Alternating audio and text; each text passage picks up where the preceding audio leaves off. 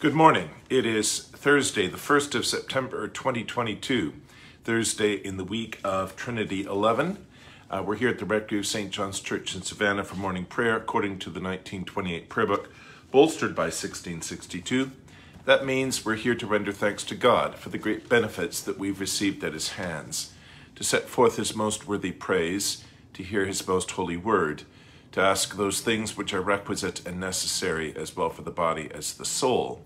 But first, as Scripture teaches us in sundry places, let us acknowledge and confess our manifold sins and wickedness with an humble, lowly, penitent, and obedient heart, to the end that we may obtain forgiveness of the same by his infinite goodness and mercy.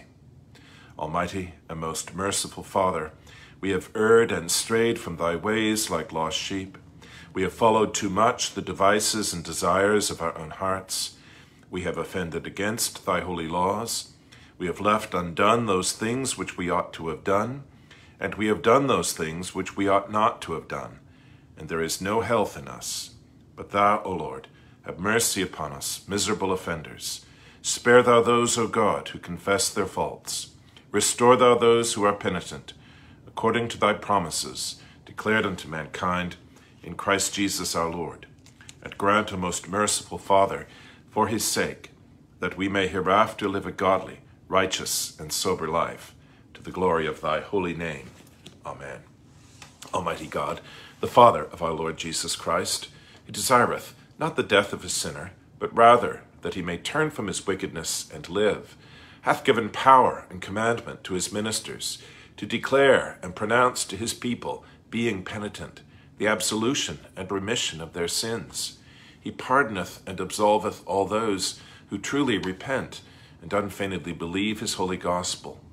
Wherefore, let us beseech him to grant us true repentance and his Holy Spirit, that those things may please him which we do at this present, and that the rest of our life hereafter may be pure and holy, so that at the last we may come to his eternal joy. Through Jesus Christ our Lord. Amen. Our Father, who art in heaven, hallowed be thy name. Thy kingdom come, thy will be done, on earth as it is in heaven. Give us this day our daily bread, and forgive us our trespasses, as we forgive those who trespass against us. And lead us not into temptation, but deliver us from evil. For thine is the kingdom, and the power, and the glory, for ever and ever. Amen. O Lord, open thou our lips, and our mouth shall show forth thy praise. O God, make speed to save us. O Lord, make haste to help us. Glory be to the Father, and to the Son, and to the Holy Ghost, as it was in the beginning, is now, and ever shall be, world without end. Amen. Praise ye the Lord. The Lord's name be praised. O come, let us sing unto the Lord. Let us heartily rejoice in the strength of our salvation. Let us come before his presence with thanksgiving and show ourselves glad in him with psalms. For the Lord is a great God and a great King above all gods. In his hand are all the corners of the earth, and the strength of the hills is his also. The sea is his, and he made it, and his hands prepared the dry land. O come, let us worship and fall down and kneel before the Lord our Maker. For he is the Lord our God and we are the people of his pasture and the sheep of his hand. Today, if you will hear his voice, harden not your hearts, as in the provocation, and as in the day of temptation in the wilderness, when your fathers tempted me, proved me, and saw my works. Forty years long was I grieved this generation, and said, It is a people that do err in their hearts, for they have not known my ways, unto whom I swear in my wrath that they should not enter into my rest. Glory be to the Father, and to the Son, and to the Holy Ghost, as it was in the beginning, is now, and ever shall be, world without end. Amen. Psalm 95 is the invitatory psalm. It's an invitation to worship, and a wonderful invitation to worship. It calls us for our minds to be filled with an awareness of the greatness of God, and still more wonderfully, that He has freely uh, chosen us, undeserving as we are, to be his own people. Freely he has bestowed his love upon us. And uh, in the perspective that the thought of that should fill our hearts with awe and reverence and delight and faith and love. Um, and uh, it should also move us to open our ears uh, to hear his voice, uh, to take his word to heart, uh, to learn his ways, and to walk in them, that we may share in the rest and peace uh, which he has designed for us. Today, on the first day of the month, we begin the Psalter anew on page 345, the first five Psalms. Psalms 1 and 2 are kind of an introduction to the Psalter. Psalm 1 sets before us the two ways um, uh, in which we may live our lives um, a way of obedience to God's law leading to life, and a way of rebellion leading to death. Blessed is the man that hath not walked in the counsel of the ungodly, nor stood in the way of sinners and hath not sat in the seat of the scornful. But his delight is in the law of the Lord, and in his law will he exercise himself day and night. And he shall be like a tree planted by the waterside, that will bring forth his fruit in due season. His leaf also shall not wither, and look whatsoever he doeth, it shall prosper. As for the ungodly, it is not so with them. But they are like the chaff, which the wind scattereth away from the face of the earth. Therefore the ungodly shall not be able to stand in the judgment, neither the sinners in the congregation of the righteous. But the Lord knoweth the way of the righteous, the way of the ungodly shall perish. Glory be to the Father, and to the Son, and to the Holy Ghost, as it was in the beginning, is now, and ever shall be, world without end. Amen. Psalm 1 uh, treats this uh, two ways as a kind of abstraction. In Psalm 2, we see how they work out in history in the conflict and triumph of the kingdom of God and of his Messiah, the Anointed One, against the rebellious kingdoms of the world. Why do the heathen so furiously rage together? And why do the people imagine a vain thing? The kings of the earth stand up, and the rulers take counsel together against the Lord and against his anointed, his Messiah, his Christ. Let us break their bonds asunder and cast away their cords from us. He that dwelleth in heaven shall laugh them to scorn, the Lord shall have them in derision. Then shall he speak unto them in his wrath, and vex them in his sore displeasure. Yet have I set my king upon my holy hill of Zion. And now we hear the, the, uh, the, the voice of Christ. I will rehearse the decree. The Lord hath said unto me, Thou art my son. This day have I begotten thee. Desire of me, and I shall give thee the nations for thine inheritance, and the utmost parts of the earth for thy possession. Thou shalt bruise them with a rod of iron, and break them in pieces like a potter's vessel. Be wise now, therefore, O ye kings, be instructed, ye that are judges of the earth. Serve the Lord in fear, and rejoice unto him with reverence. Kiss the Son, lest he be angry, and so ye perish from the right way, if his wrath be kindled, yea, but a little. Blessed are all they that put their trust in him. Glory be to the Father, and to the Son, and to the Holy Ghost, as it was in the beginning, is now, and ever shall be, world without end. Amen. So the subject matter of the Psalms has been set before us. Uh, we've had this promise of blessing to those who put their trust in God. And now we uh, turn in these opening Psalms to hear the voice of the righteous servant of the Lord, who is in the final analysis none other than Christ himself, speaking to us through the psalmist's voice, um, speaking to us in the midst of his sufferings and struggle um, with the enemies of God's kingdom.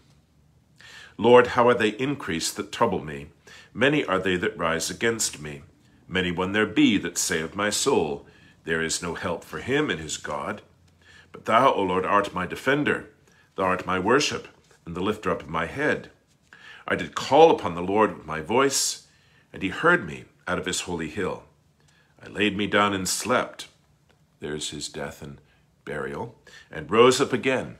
There's his resurrection. For the Lord sustained me. I will not be afraid for ten thousands of the people that have set themselves against me round about. Up, Lord, and help me, O my God, for thou smitest all mine enemies upon the cheekbone. Thou hast broken the teeth of the ungodly. Salvation belongeth unto the Lord, and his blessing is upon thy people. Glory be to the Father, and to the Son, and to the Holy Ghost, as it was in the beginning, is now, and ever shall be, world without end. Amen.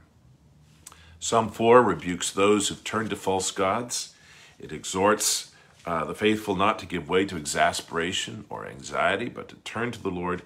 It concludes with an assurance of security in time of tribulation. Hear me when I call, O God of my righteousness.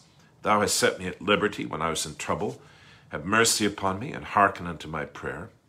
O ye sons of men, how long will ye blaspheme mine honor, and have such pleasure in vanity, and seek after falsehood? Know this also, that the Lord hath chosen to himself the man that is godly.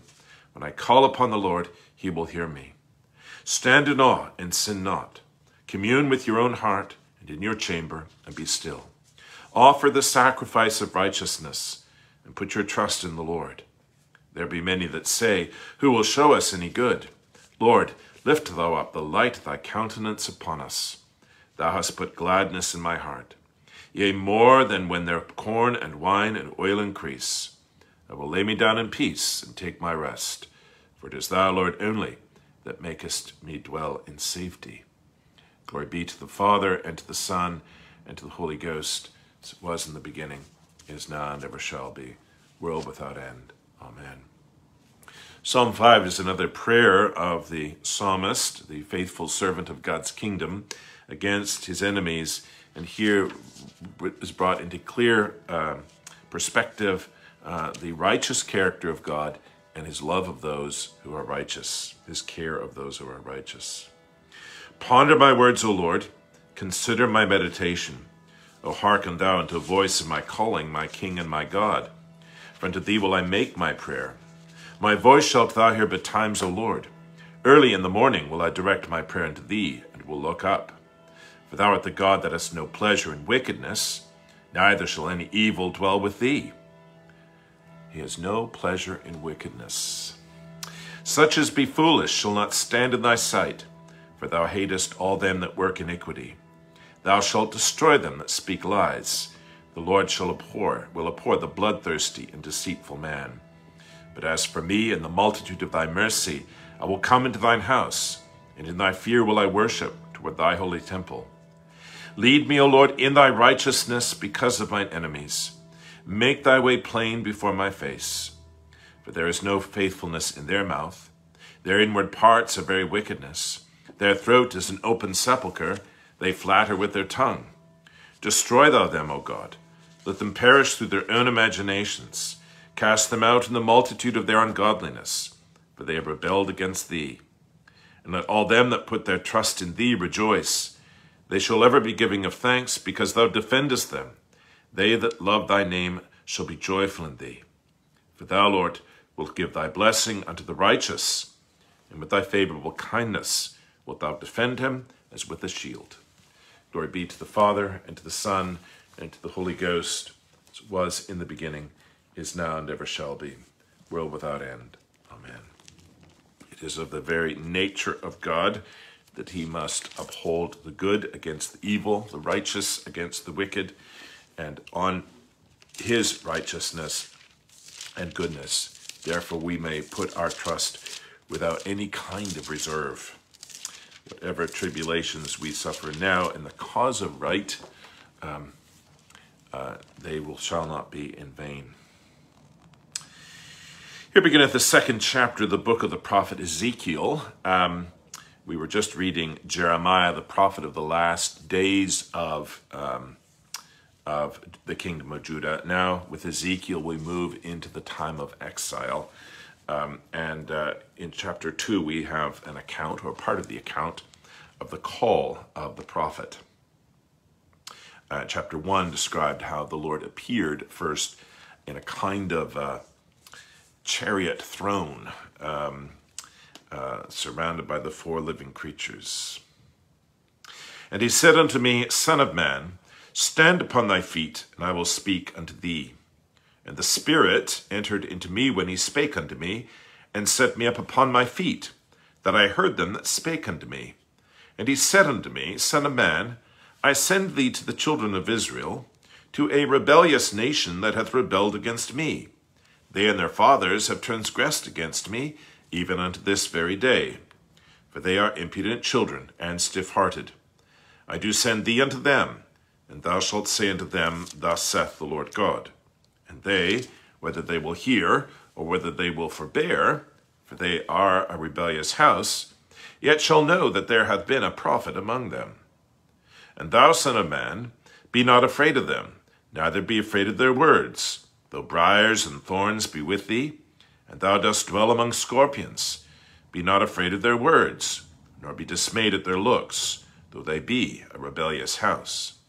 And thou shalt speak my words unto them, whether they will hear, or whether they will forbear, for they are most rebellious. But thou, son of man, hear what I say unto thee. Be not thou rebellious, like that rebellious house. Open thy mouth, and eat that I give thee. And when I looked, behold, an hand was sent unto me, and lo, a roll of a book was therein. And he spread it before me, and it was written within and without. And there was written therein lamentations, and mourning, and woe. Moreover, he said unto me, Son of man, eat that thou findest, eat this roll, and go speak unto the house of Israel. So I opened my mouth, and he caused me to eat that roll. And he said unto me, Son of man, cause thy belly to eat, and fill thy bowels with this roll that I give thee. Then did I eat it, and it was in my mouth as honey for sweetness. Here endeth first lesson. So a word full of lamentations and woe that nonetheless uh, tastes as sweet as honey. Um, what a wonderful and uh, uh, intriguing uh, uh, image that is. Blessed art thou, O Lord God of our fathers, praised and exalted above all forever. Blessed art thou for the name of thy majesty, praised and exalted above all forever. Blessed art thou, in the temple of thy holiness, praised and exalted above all forever. Blessed art thou that beholdest the depths and dwellest between the cherubim, praised and exalted above all forever. Blessed art thou in the glorious throne of thy kingdom, praised and exalted above all forever.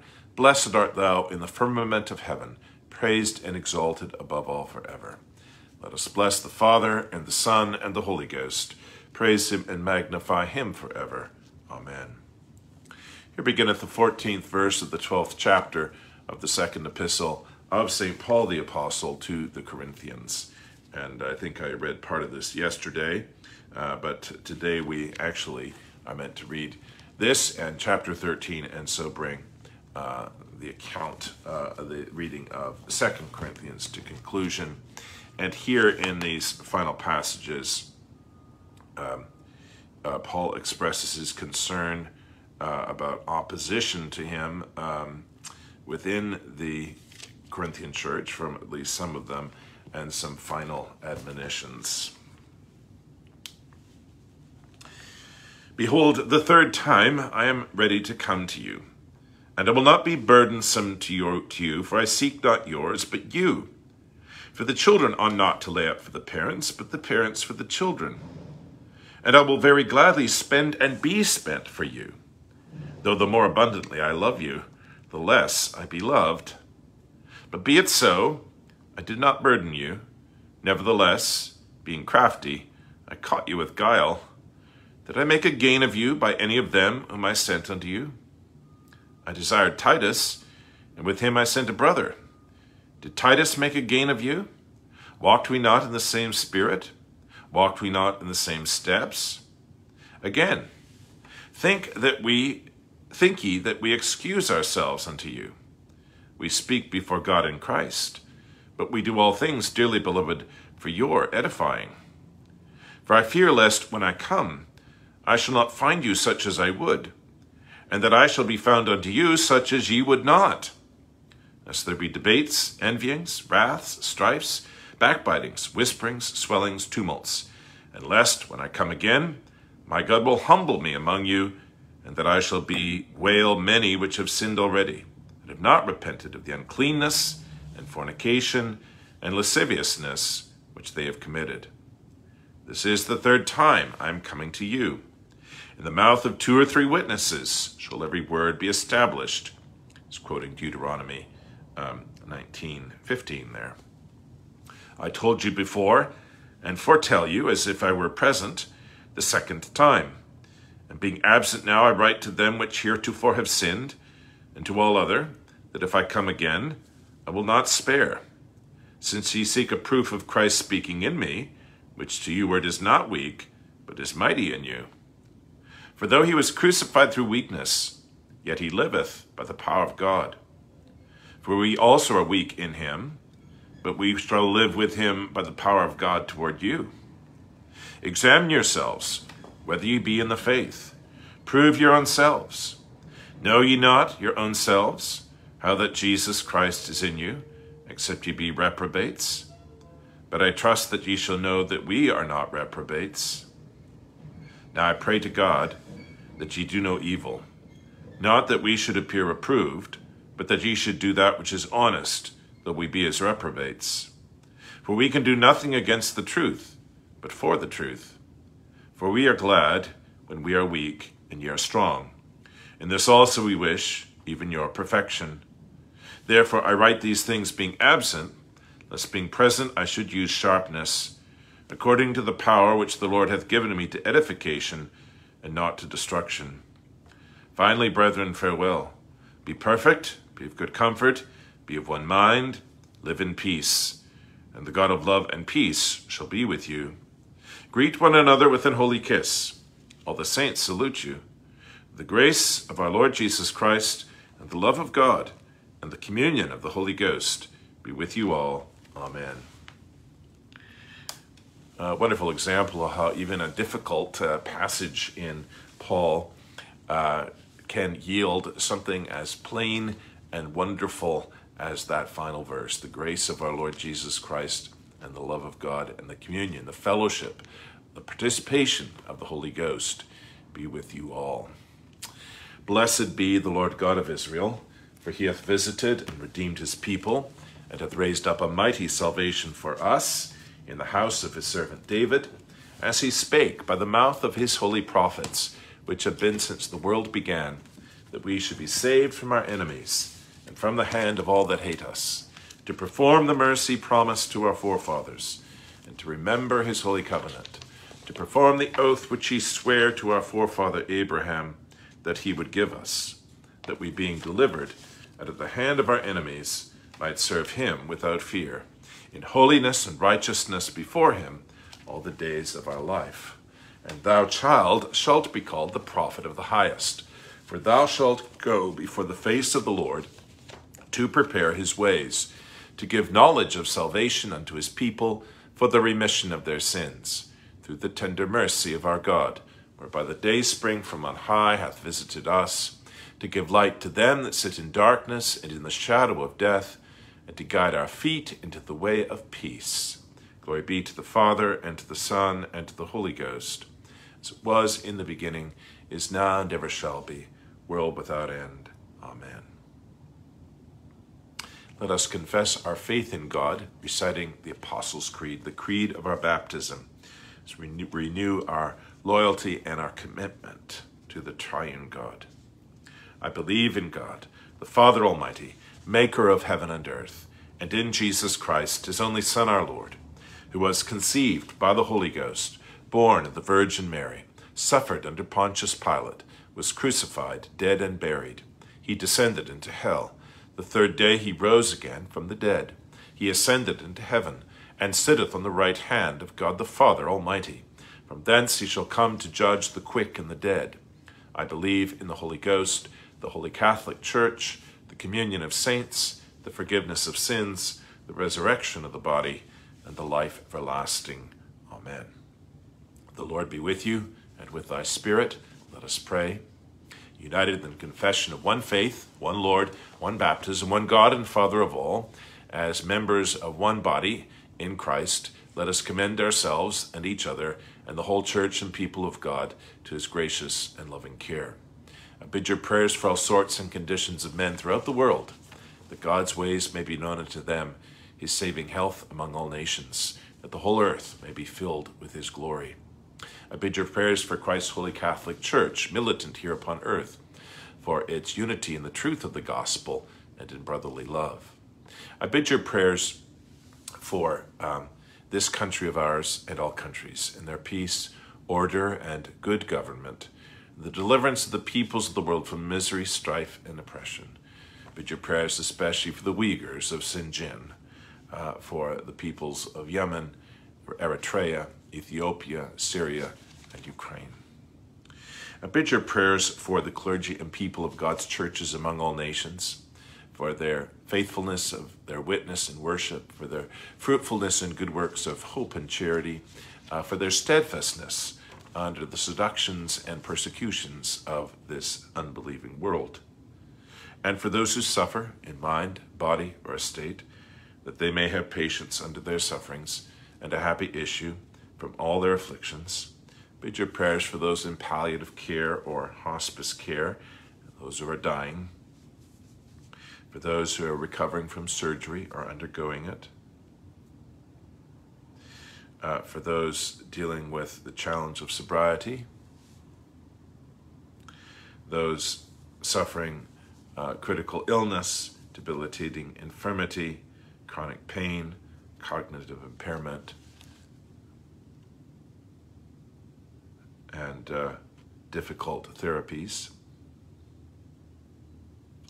For orphans and widows, for the abandoned and the abused, for the hungry and the homeless, for prisoners and captives, for refugees, for the wounded, uh, for the grieving, for the dying, for all women in childbirth, all women expecting children and the children they're expecting, all young children, infants and young children and their parents, for those dealing with the burdens of anxiety, depression, and mental illness,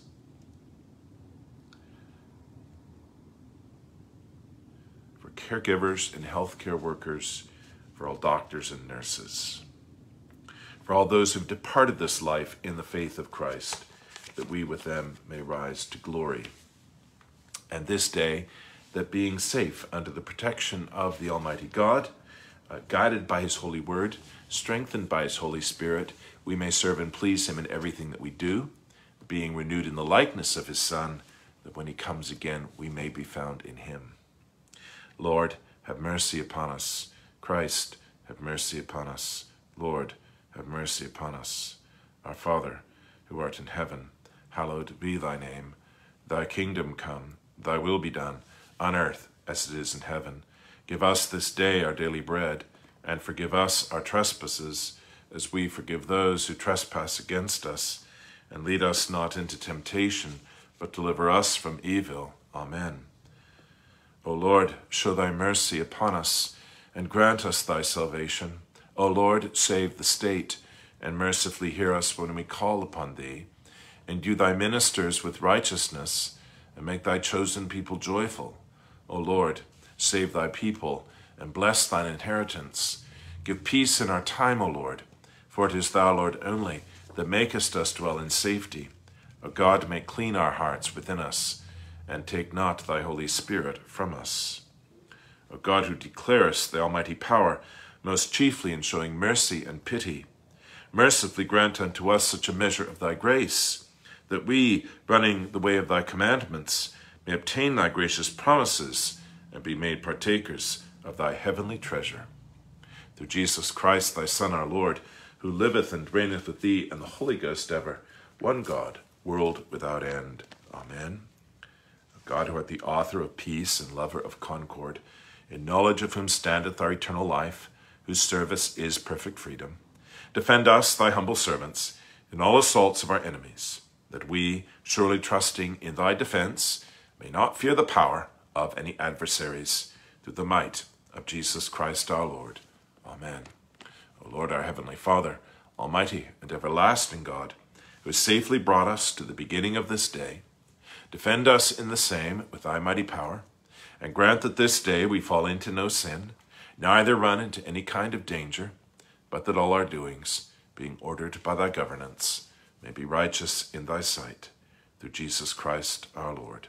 Amen.